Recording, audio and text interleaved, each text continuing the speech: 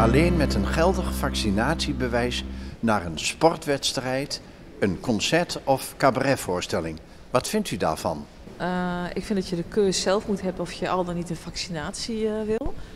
Ik denk dat die vaccins, ondanks dat ze zeggen dat wel allemaal goed is uh, onderzocht, dat maar de vraag is in hoeverre het werkt.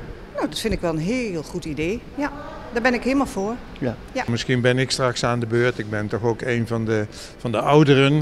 Uh, maar ja, als je, als je toch jonger bent, je wil, uh, je wil toch graag uh, op stap. En ja, daar kan zo'n vaccinatiebewijs denk ik goede diensten bij bewijzen. dan denk ik voornamelijk aan het gaan naar de horeca.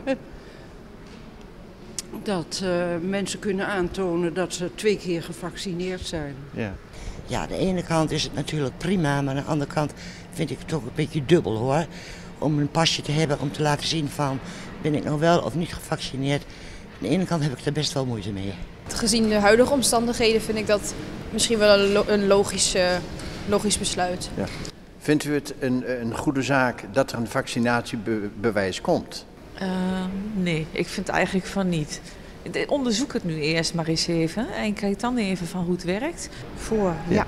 Wat vindt u daarvan als de overheid in Nederland zo'n bewijs verplicht zou stellen? Ja, wij houden in Nederland niet van verplichte dingen. Uh, maar ja, uh, als, je, als je daar een schifting mee zou kunnen maken. Je krijgt dan. Ik vind het een moeilijke zaak. En vervelend, ik, ik heb zelf is diabetes en hoge bloeddruk. Maar ik weet niet of of wel goed die vaccin voor mijn lichaam. Dan ga ik uh, zeker mijzelf laten vaccineren, ja. ja, ja. En u zou dan ook een, uh, een vaccinatiebewijs nemen als dat ja. verplicht zou worden? Ja, zeker. Ja.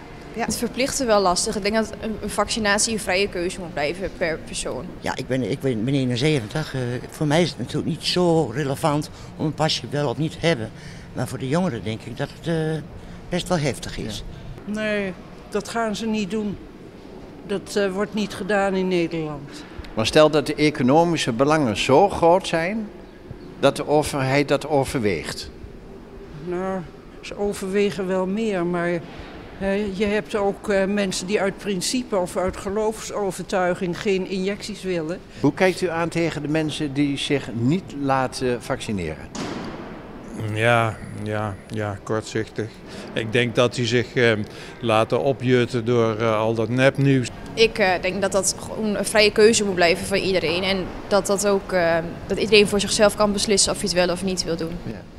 En stel, u gaat op vakantie naar het buitenland en dat land vraagt aan u een geldig vaccinatiebewijs, verplicht. Wat ja. zou u daarvan vinden? Um, ja, dat beslist dat land al voor zich. Ik denk dat als jij naar dat land op vakantie wil en je hebt daar je, je keuze in, dat, dat je dan maar hebt te doen zoals dat land zegt. Ja, ja. sowieso. Ja. ja. We zijn echt voor het veilige stukje. Uh, iedereen ingeënt moet zijn om weer straks weer een normale omgeving te ja. hebben. Dat moet je geven, de vrijheid van de mensen. Kiezen zelf.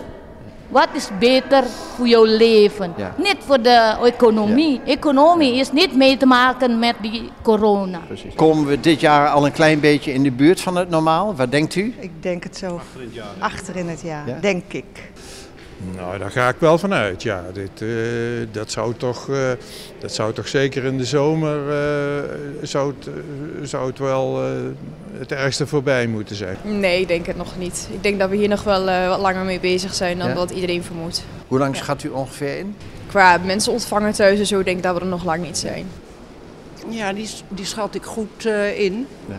In maart gaat de kapper alweer beginnen en in april, april of mei denk ik dat we de horeca weer mogen bezoeken. Uh, tuurlijk, je moet altijd positief blijven. Altijd. Als ik kijk naar mijn kleinkinderen, 17, 18 jaar, hè, die kunnen niet zo gezellig een avondje bij mij komen. Dat gaat niet. Ja. Maar ik denk niet dat wij het kunnen sturen. We kunnen alleen voorzichtig zijn en uh, rekening houden met. En ondertussen zien we wel hoe het gaat. Het virus, alle virussen gaan hun gang. En we hopen dat het voorbij is gauw. Hoop ik voor iedereen.